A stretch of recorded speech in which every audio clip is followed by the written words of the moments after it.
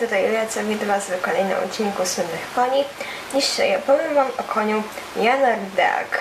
Tak. Pewnie nigdy w życiu nie słyszeliście o tym koniu, ja zresztą też.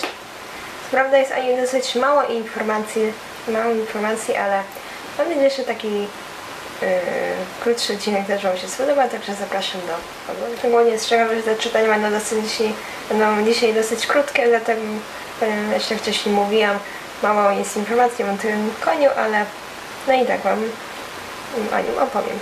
Janar Dak. Koń rasy achmetykińskiej należący do zmarłego w 2006 roku autory ternego prezydenta Turkmenistanu Saparmurata Niyazowa. Koń ten otrzymał imię od, jednego z, od jednej z gór Turkmenistanu. Oznacza ono ognista góra. Jana Rdak urodził się wiosną 1991 roku. Wielokrotnie zwyciężał w różnych wystawach i zawodach. Między, między innymi w 1999 roku wygrał prestiżowe moskiewskie zawody koni rasy achautykińskiej. Właściciel konia turkmeński dyktator Saparmurat Niyazow zadecydował o, o umieszczeniu wizerunku Jana Rydaga w godle Turkmenistanu. Jego postać, będąca klasycznym wizerunkiem tej rasy koni, ma uosabiać, uosabiać dumę Turkmenów. Symbolikę tę podkreślać ma fakt, iż Jan Rydak jest rówieśnikiem niepodległego, niepodległego Turkmenistanu. Także to też taka ciekawostka, że ten koń jest w godle Turkmenistanu. Także teraz przechodzimy do kolejnego czytania.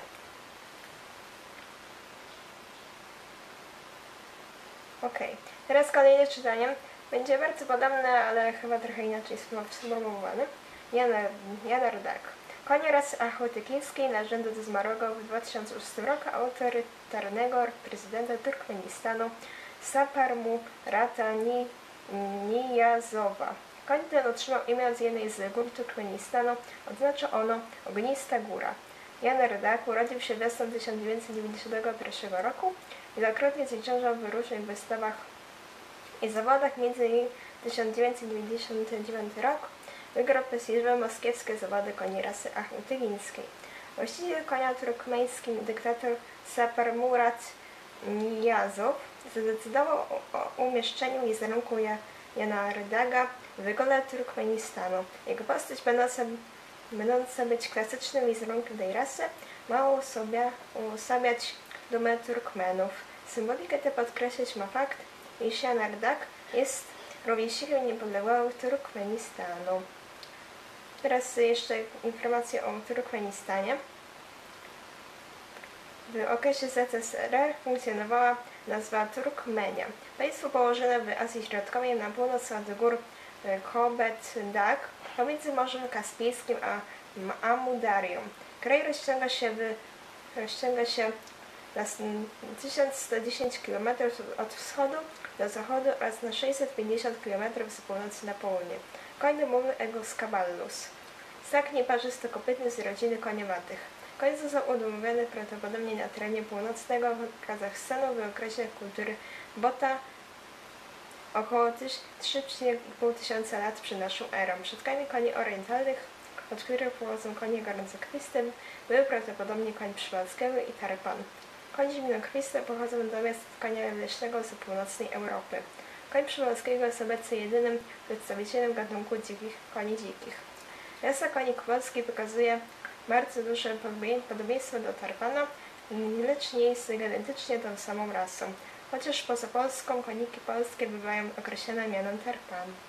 W styczniu 2007 roku zespół naukowców z Massachusetts Institute Institute of Technology i Uniwersytetu Harvarda poinformował, że stworzył wstęp, wstępną mapę genomu konia.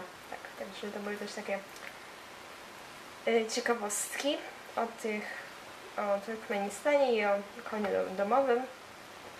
Także teraz przechodzimy do ostatniego. Ok, teraz ostatnie czytanie bardzo podobne do poprzednich, ale y, chyba też trochę inaczej sformułowane. Janardach.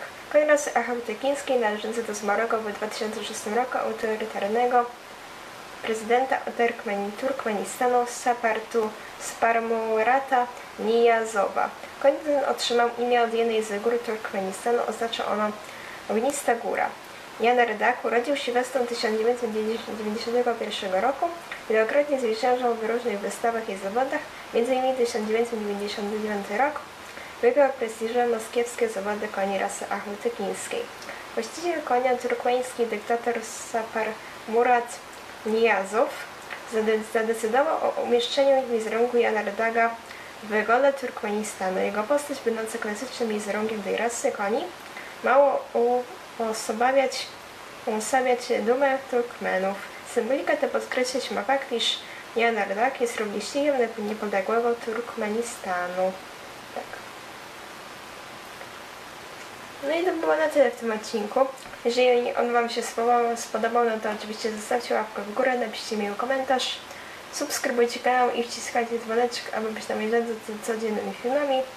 Na końcu może umieszczę jeszcze jakieś zdjęcia, także to było na tyle w tym odcinku. Opisie będziecie mieli wszystkie źródła, których użyłem do dzisiejszego filmu. No i do zobaczenia w kolejnych filmach. Pa.